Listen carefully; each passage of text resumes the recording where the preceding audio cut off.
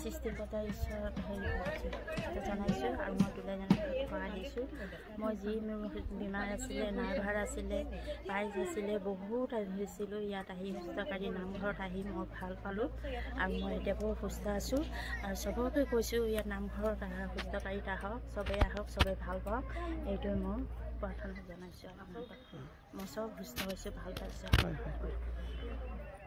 ঠিক আছে ঈশ্বৰৰ প্ৰশংসা হওক। প্ৰথমতে মই গুৰুদেৱকো সেৱা প্ৰাৰ্থনা জনাইছোঁ। মোৰ মই দুলীয়াজানৰ পৰা আহিছোঁ। মোৰ নাম জ্যোতি কলিতা। মই আজি দহ বছৰে নাৰ্ভৰ ৰোগত আছিলোঁ মূৰৰ। কোনো ধৰা নকৰে ডক্টৰ বহুত ডক্টৰ গ'লোঁ মই বাহিৰলৈ গ'লোঁ চেন্নাই ডক্টৰ গ'লোঁ আৰু ডিব্ৰুগড় দুলীয়াজানটো বাদেই আৰু। গৈ মেলি ক'তো দেখালোঁ ক'তো ধৰা নপৰিলে ৰোগটো। তাৰপিছত শেষত মই তথাপি মই মেডিচিন কৰি আছোঁ ডক্টৰ দেখাই আছিলোঁ। অলপ কমে মানে অলপ সম্পূৰ্ণ নকমে মানে বেমাৰটো। তাৰপিছতে লাষ্ট বাৰ ঈশ্বৰৰ প্ৰাৰ্থনা কৰি শেষত মোৰ বহুত বেছি হৈ গ'লগৈ মানে ৰোগটো। ৰোগটো বেছি হৈ গ'ল বেছি হৈ যাচ্ছে মই ঈশ্বৰক শেষত প্ৰাৰ্থনা কৰিলোঁ আৰু প্ৰভু তুমি মোৰ ৰাস্তা দেখাই দিয়া। তেতিয়া মই ঈশ্বৰক প্ৰাৰ্থনা কৰি ঈশ্বৰে মোক এটা ৰাস্তা দেখাই দিলে। মানে আগতে মোক কৈছিলে ভাইটিয়ে মনোৰোগ বিশেষজ্ঞ দেখাবলৈ কৈছিলে মানে একদম ডিপ্ৰেশ্যনৰ মোৰ প্ৰব্লেম আছিলে। তো তেনেকৈ মই তেতিয়া ভাইটিৰ কথা শুনিলোঁ মানে কিবা ভাইটিয়ে মোক ক'লে যে তোৰ ডিপ্ৰেশ্যনৰ বা ৰোগ হৈছে তই দেখাওঁ ডক্টৰক দেখাইছা বুলি ক'লে।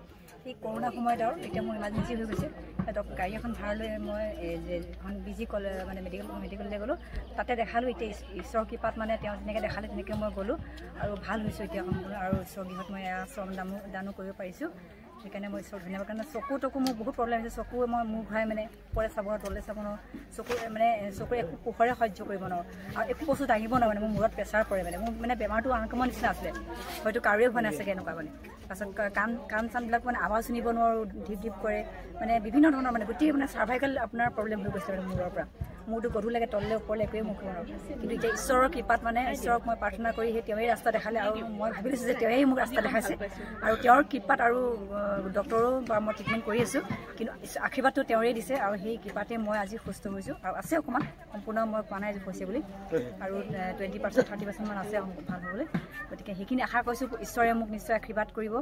আৰু মই নিশ্চয় এদিন সোনকালে সুস্থ হ'ম আৰু গৃহত এনেকৈ সদায়ে যাতে মই প্ৰত্যেক বছৰে যে শ্ৰমদান দিব পাৰোঁ মই সেইটোৱে ঈশ্বৰৰ ওচৰত প্ৰাৰ্থনা কৰিছোঁ মোক খুজিছোঁ ওচৰত মই প্ৰাৰ্থনা আৰু গুৰুদেৱকো মই তাৰ কাৰণে ধন্যবাদ কৰিছোঁ ইয়াকে কৈ মোৰ বক্তব্য মই মাৰিছোঁ।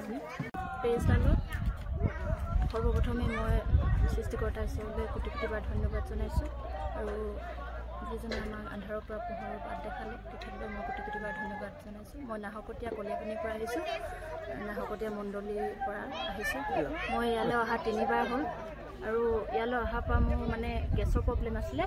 মই এতিয়ালৈকে বৰ্তমান সেই গেছৰ প্ৰব্লেমৰ পৰা মুক্ত হৈছোঁ। এতিয়ালৈকে মোৰ হোৱা নাই। আৰু আছে মোৰ সমস্যা ভালেকেইটা কঁকালৰ বিষ হৈ থাকে। আৰু মই ইমানেই মোৰ বিশ্বাস আছে মই মোৰ সেইটোও ভাল হ'ব বুলি মোৰ সম্পূৰ্ণ বিশ্বাস আছে। ইয়াকে কৈ মোৰ ভাগ্য